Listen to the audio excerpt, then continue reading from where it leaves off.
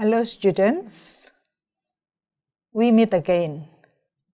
Our program is Be Proficient in English with Binus. I'm Wiwik Andreani, your host in this session.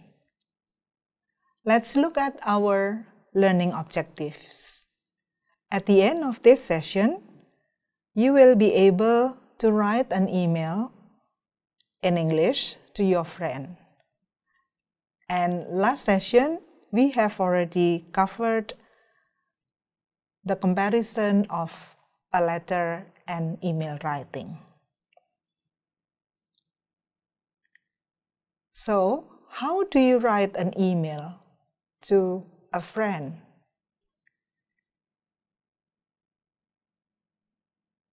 There are some points that you have to consider the first one is salutations.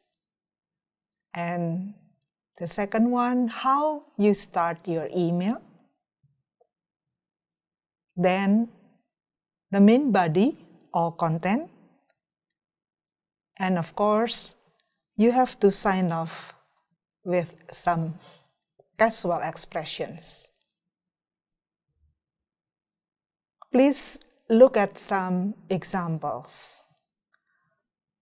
Because this one is an email to a friend, so it's an informal one. You can begin with hi or hey, and you just write your friend's first name. It's also possible you start with hello and you may use your name, your friend's name.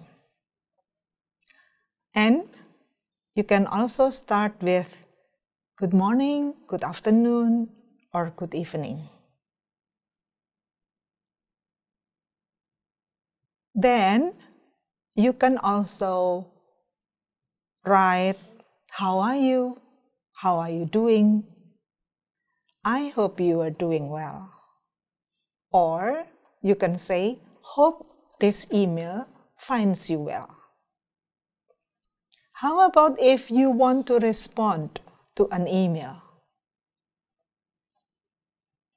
Here are some expressions that you can use. Thanks for your email. It was, it was great to hear from you. I enjoyed reading your email. And after you write your message, then you will sign sign off. Again, you can use some informal expressions. For example, best, all the best, take care, or maybe you prefer lots of love. This is an example of an email, and of course, it's very informal. Hey, Nick, how are you going? How are you going is usually used for Australians. And the meaning is the same as how are you doing? How are you? Apa kabar in Indonesian? Thanks for sending me the photos from your holiday. It looks like you had a great time. So this is your starter, yeah, your email starter. And you begin asking your friends' kids and also their dog.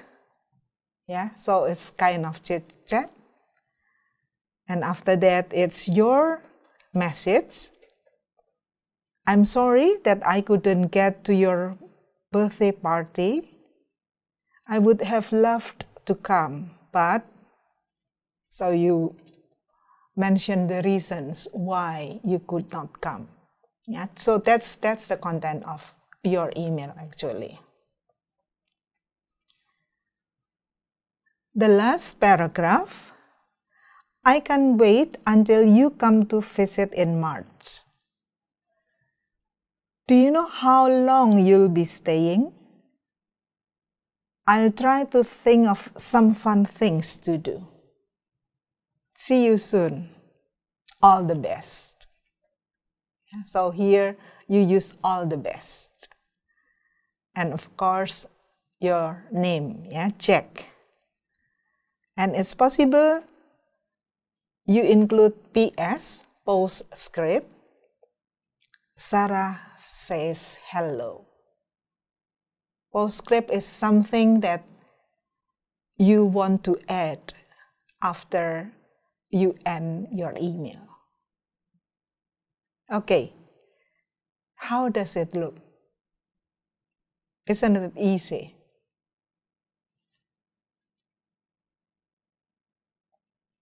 So, if we want to summarize what we are discussing at this moment,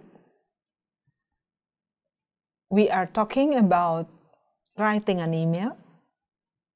So you begin with salutation and then email starters, your content, the main body, and casual email sign off.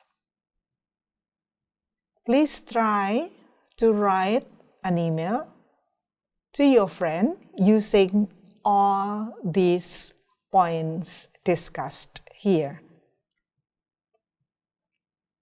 And I do believe that if you learn with pleasure, you will never forget. So practice, practice, and practice.